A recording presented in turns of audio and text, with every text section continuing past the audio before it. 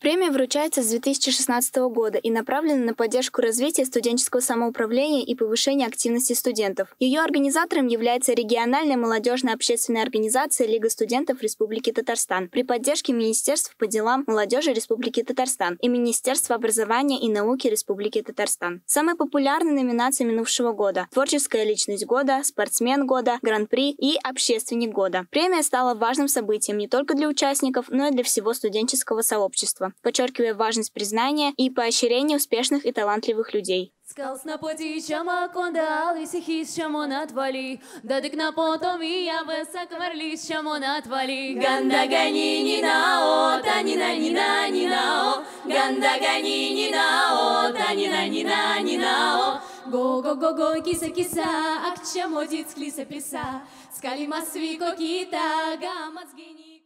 Премия была проведена в четыре этапа. Первый – заявочная кампания, в рамках которой учащиеся и коллективы направляли заявку на участие в премии. Вторым стал заочный этап – рассмотрение и оценка заявок экспертной комиссией. Третий – очный, где проводились конкурсные испытания участников по отдельным номинациям в присутствии экспертного совета. И четвертый – как раз торжественная церемония. Главным событием вечера на ней стало вручение Гран-при. Эта престижная награда досталась Данису Хаджаеву, студенту Института морского и речного флота имени Девятаева. Эта премия дала очень много многое мне, очень многое нашим ребятам, нашему институту.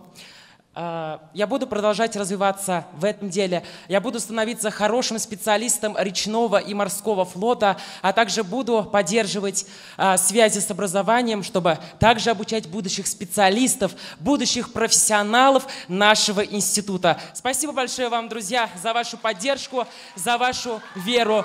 Без берега, без булдарабас. Спасибо. Премия «Достижение года 2023» не только ежегодно поддерживает творческую и социальную активность студентов, но и является стимулом для тех, кто только в начале своего пути. Ксения Бронская, Елизавета Газизянова, Универ Новости.